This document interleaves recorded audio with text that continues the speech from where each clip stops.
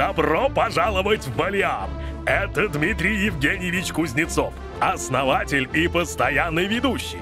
В этом шоу он будет разговаривать с коллекторами, которые докучают нашим клиентам. Вся фишка в том, что коллекторы не знают, что срабатывает система переадресации, которую мы подключаем каждому, кто обращается к нам в поисках финансовой свободы. Не забудь про лайк, подписку и колокольчик. Приятного просмотра! Спасибо нашим подписчикам на Boosty. Если вы хотите увидеть свое имя в этом списке, подписывайтесь на Boosty. Ссылка в описании этого и любого другого ролика. Поехали. Хали-гали, башмаки сандалия. Да здравствует великая, могучая, единственная, великолепная, непревзойденная Россия-матушка. Я русский!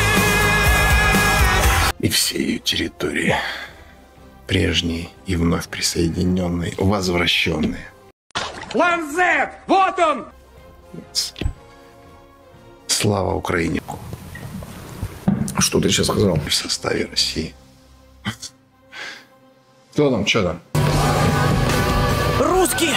Хохлосрач, все, кто любит, поехали. Все будет, как мы любим. Давайте с Богом. Процесс деколлекторизации начинается. Добрый день. Могу я услышать Алексея Александровича? Хочу поговорить с оператором. Звонок из Сбербанка. Меня зовут Мария, мой индивидуальный код 1323. Наш разговор будет записан. Минуту. Сейчас я переключу вас на профильного специалиста. Уведомляю, что с вами разговаривал роботизированный оператор Мария.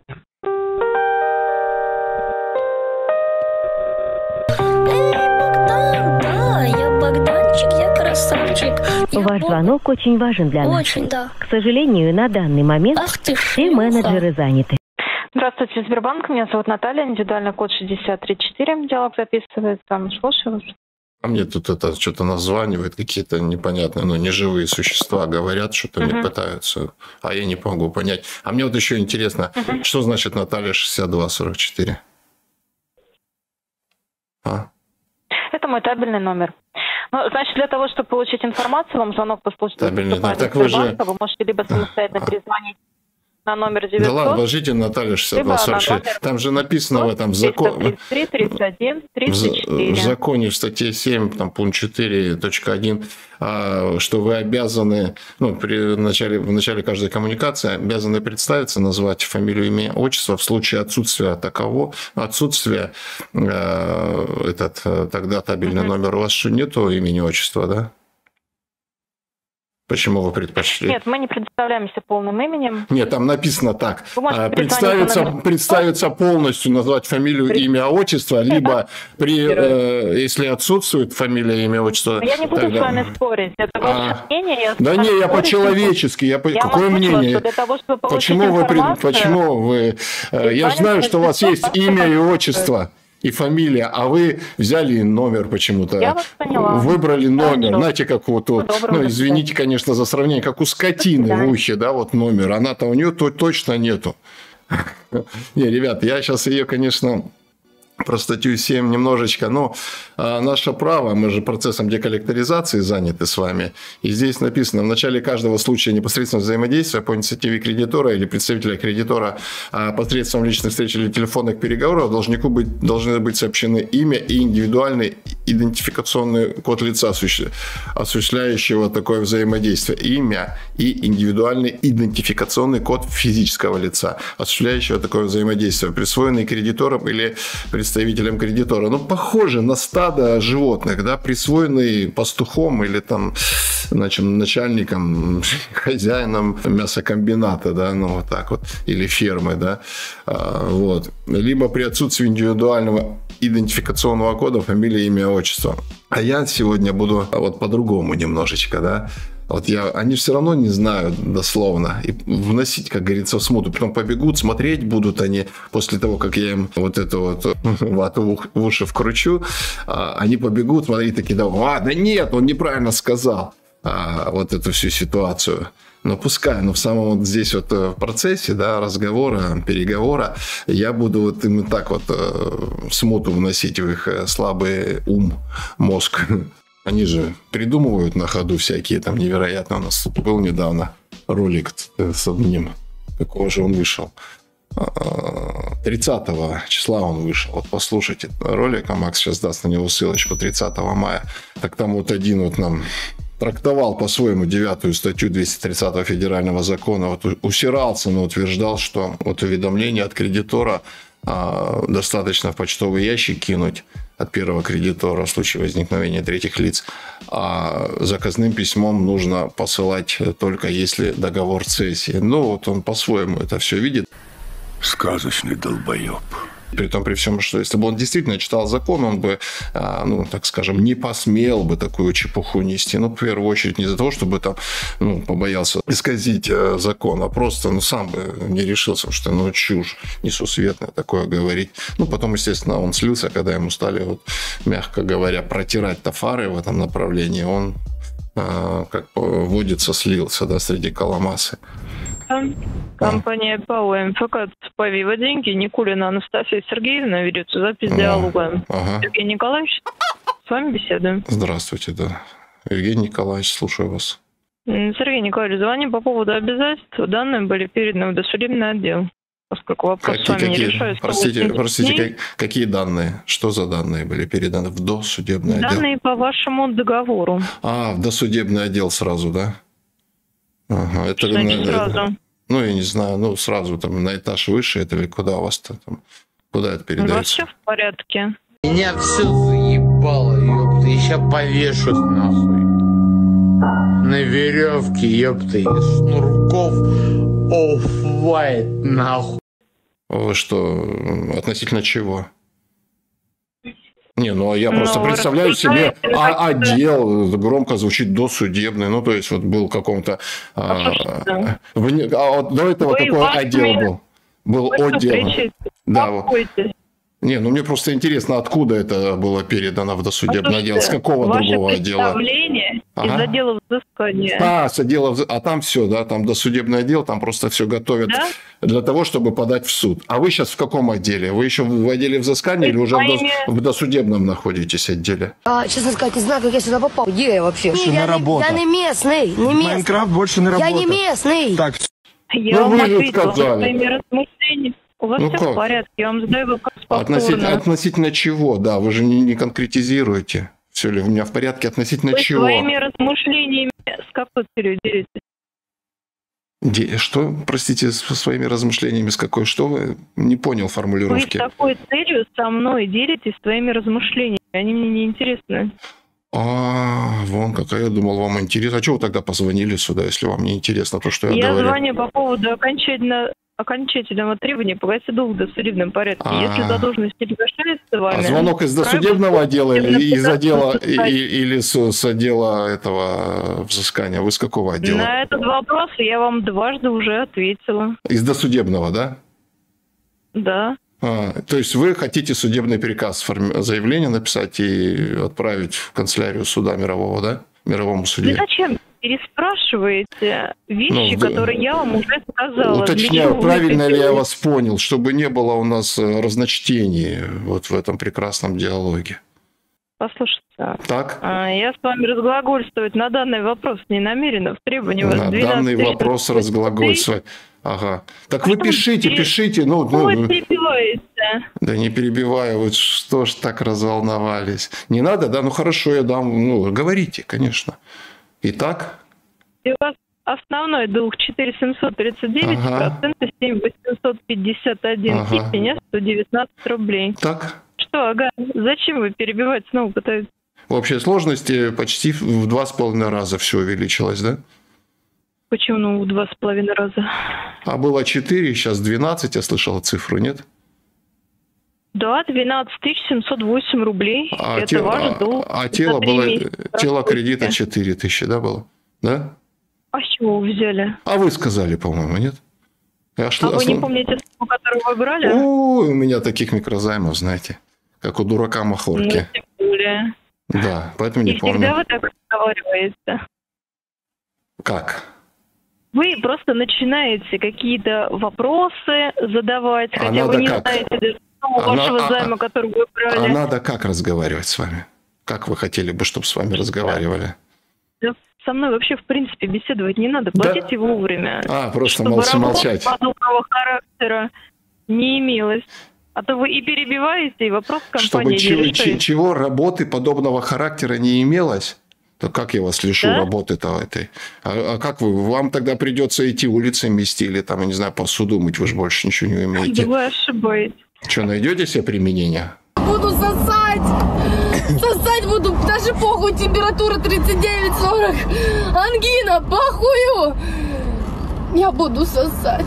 Послушайте, ну я думаю, что с вами, как с должником компании, это обсуждаться не будет. Зачем вы наличные? Хорошо, да, не, не, не. А нет, ну, ладно, Вы не, от не буду. вашего долга, вы от темы вашего долга. На все сторонние темы готовы беседовать, Не, не, строго, вот о том, строго, строго о том, что вы говорите, на тему моего долга. Я же спросил в два с половиной раза, какое Вы тело кредита. Да почему два с половиной раза? 130 процентов, не более. Все, не по более. закону. Ну, конечно. Ну, и я тоже так считаю. Лучше все пускай по закону. И, блин, Не вы, более. где, где, Послушайте. где вы и где я? Размышления ваши долго будем слушать. Все от вашего Я желания вам задаю зависит. конкретные вопросы. Вы Так. на них отвечаете. Если нет, мы получаем Не, я чё-то не далее будете работать с приставами. Там, в принципе, я думаю, Не, что не, особо- если, если получу судебный, вы получите судебный приказ, я с приставами не буду работать. Зачем мне с ними работать? Мне проще отменить судебный приказ Да. и все. Взять и отменить. А что из этого изменится?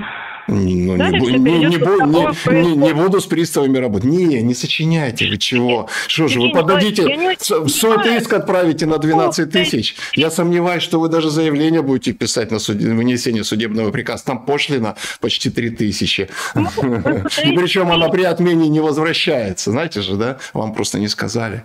При отмене судебного приказа а пошлина не возвращается. Навряд ли ваше руководство будет писать заявление о выпуске судебного приказа на 12 тысяч рублей и оплачивать пошлину в районе трех.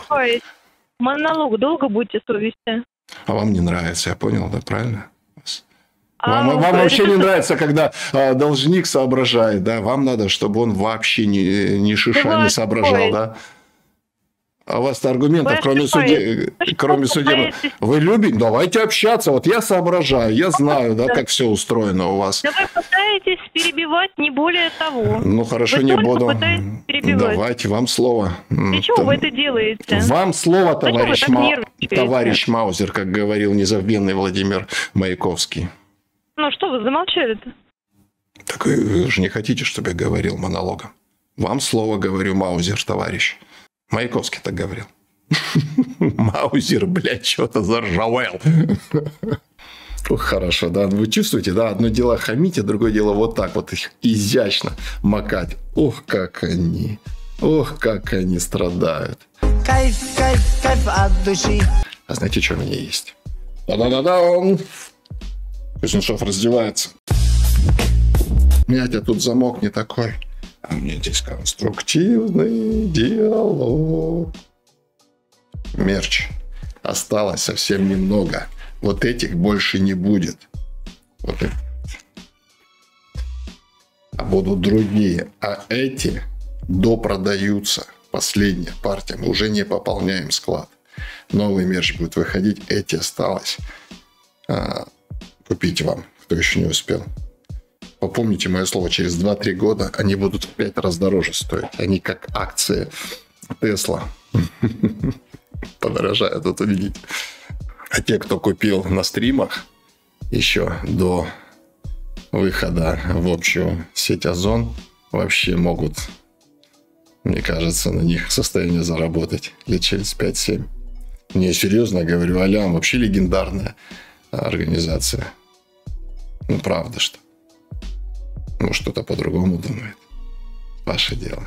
Но мы лучшие, первые, крупнейшие и легендарные. Поэтому все, что связано с Алиам и с процессом деколлекторизации, закрепится в поколениях и будет иметь свою ценность.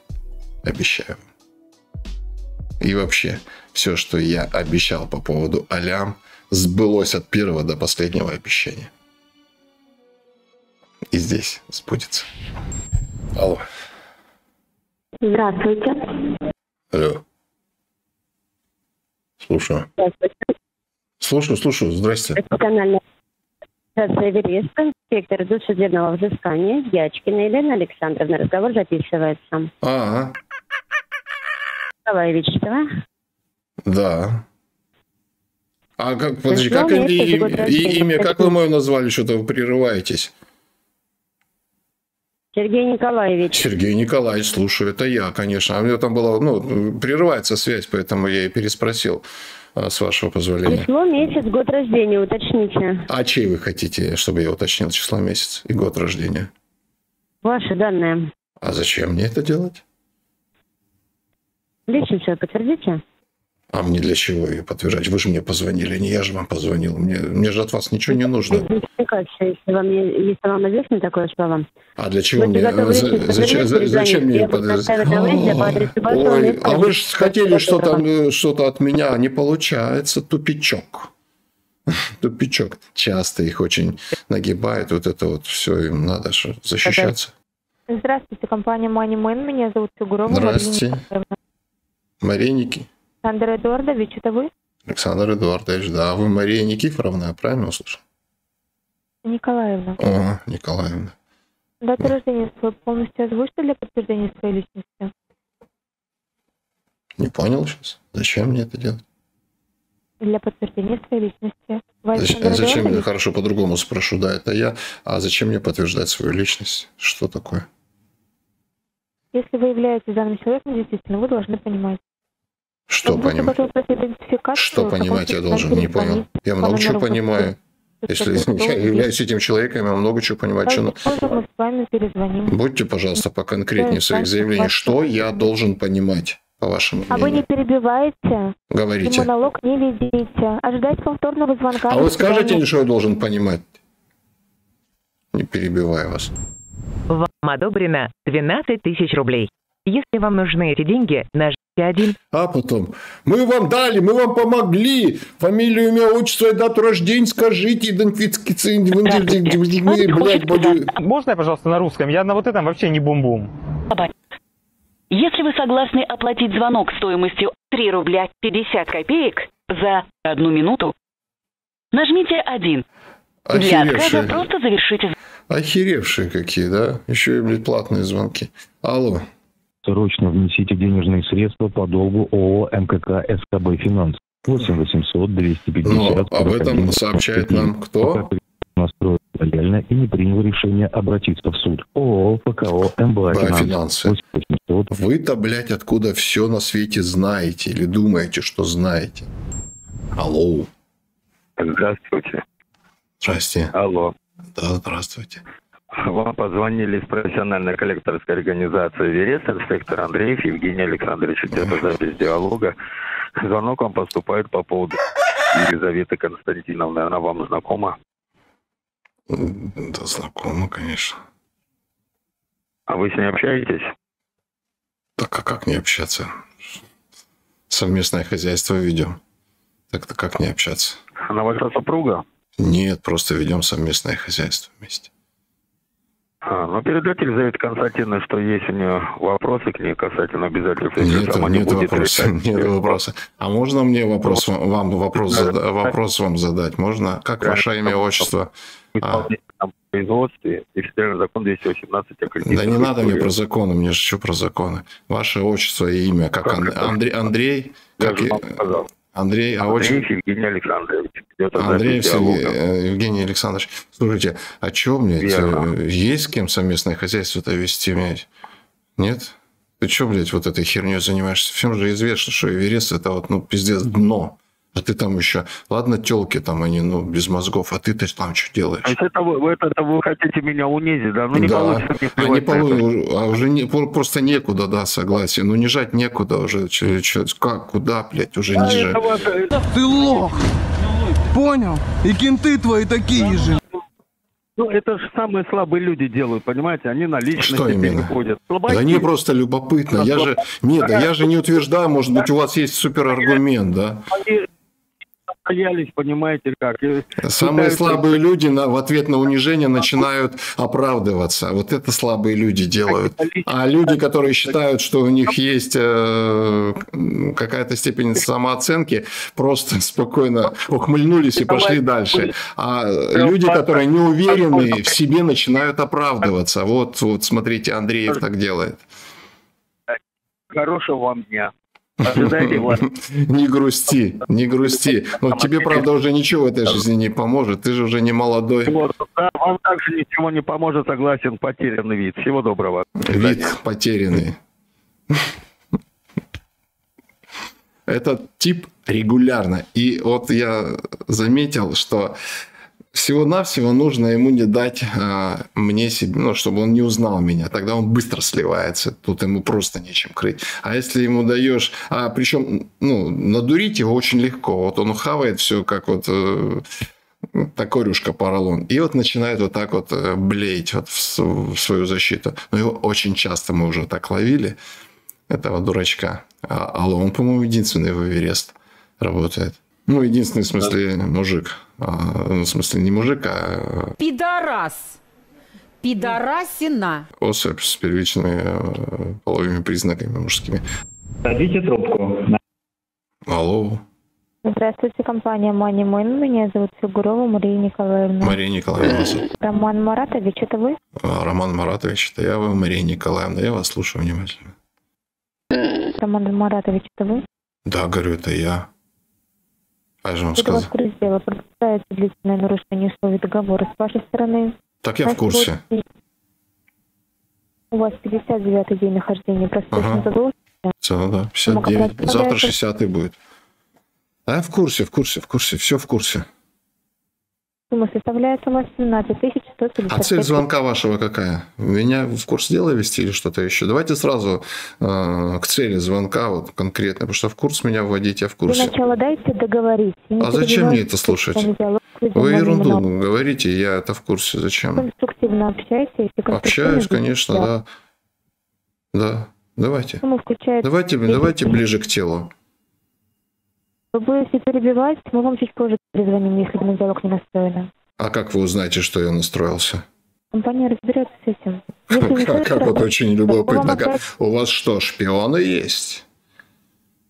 В мою семью внедренные.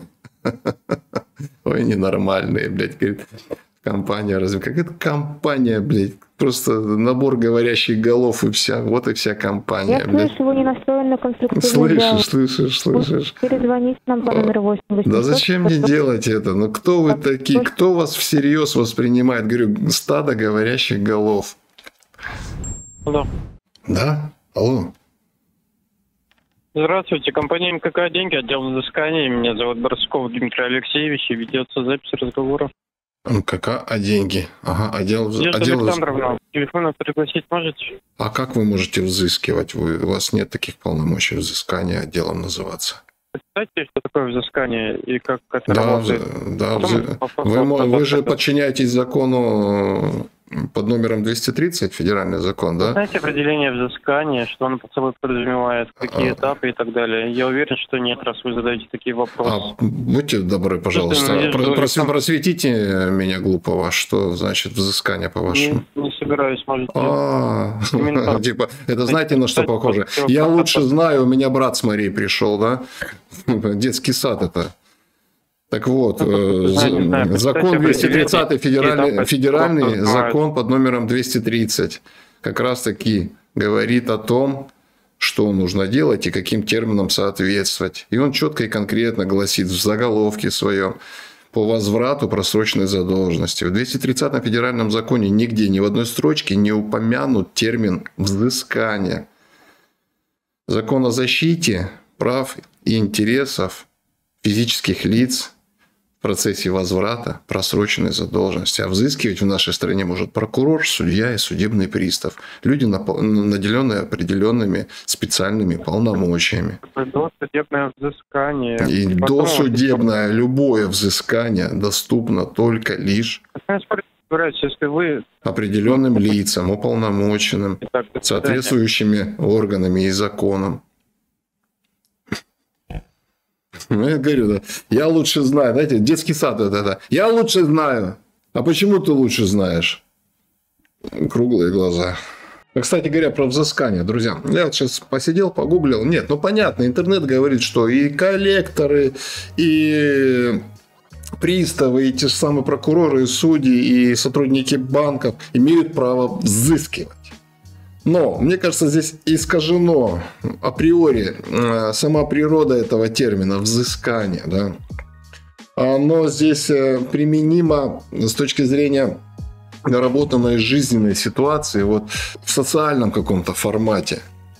А точнее не формате, а вот в такой эпизоде, во фрагменте социальной жизни. И почему-то я думаю, что само взыскание как термин стало существовать вот так вот широко и часто применимо только вот после появления всех этих вот историй, связанных с Коломасой как раз-таки. До этого никому в голову не приходило применить слово «взыскание» вот в формате каких-то частных переговоров. А что как нечастные переговоры мы с вами здесь фиксируем? Что юрлицо, по сути, это что ж тут не говори, это обычный субъект юридического права, вот юридическое лицо уж точно не наделенный какими-то дополнительными полномочиями, и с точки зрения каких-то вот взвешиваний, если позволите такой термин, а, физлицо и юрлицо максимально идентично выглядят, одинаково. Более того, если уж опять официальным языком, да, все это э, оформлять э, то юридическое лицо э, по сравнению с физическим лицом более сильная сторона, а физическое лицо это менее сильная сторона и менее защищенная. Ну, вот э, так и, в общем-то, в официальных разбирательствах, если какие-то аргументы равновесные возникают, то так и говорится, что в споре между юридическим и физическим лицом физическое лицо является менее защищенным, менее информированным и э, имеет право на большую э, снисходительность с точки зрения вот этих э, споров, разбирательств и э, в процессе выставления каких-то, ну так назовем их, решений официальных.